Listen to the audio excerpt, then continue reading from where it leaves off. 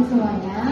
Saya ibu dari eh, saya putri dari Ibu Mariana Ivana Valenta memohon maaf kepada seluruh karyawan Alfamart secara khusus kepada Mbak Amel, Mbak Nisa, eh, Mas Ali dan manajemen Alfamart secara menyeluruh serta seca- secara spesifik permohonan maaf terhadap Alfamart yang berada, di Cisauk, Tangerang.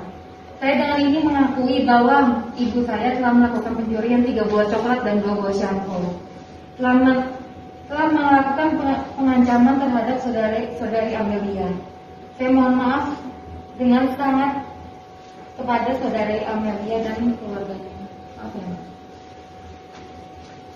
Izin yang saya hormati Bapak Kapolres Tangsel Selatan, Bapak Kasat Reskrim dan semua jajarannya. Saya Bang Amir sangat-sangat berterima kasih banyak dengan adanya mediasi yang dilakukan oleh Bapak Kapolres Tangsel dan Pak Kasat sehingga pada malam hari ini dari pihak Pak pengacara yang sangat sa- luar biasa dari pihak Pak Alfa yang legowo untuk eh, melakukan perdamaian ini Eh, saya sangat berterima kasih kepada saudara Adinda eh, yang telah memediasi sehingga malam ini bisa terjadi kesepakatan yang perdamaian semua. Mungkin dari saya saya memohon maaf kepada eh, manajemen Alfamart yang telah membuat netizen sangat-sangat luar biasa boomingnya ini. Sekali lagi saya Bang Haji Amir meminta maaf kepada manajemen Alfamart jika ada kata-kata saya yang menyinggung manajemen, saya memohon maaf. Mungkin dari saya cukup. Saya mohon maaf kepada Mbak Amir.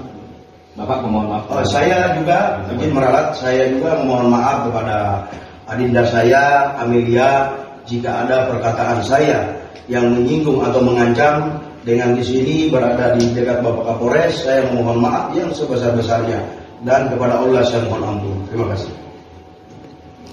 Mungkin bisa salaman antara ini. Salaman. eh. Pelukan. eh. Ya, baik, maaf ya.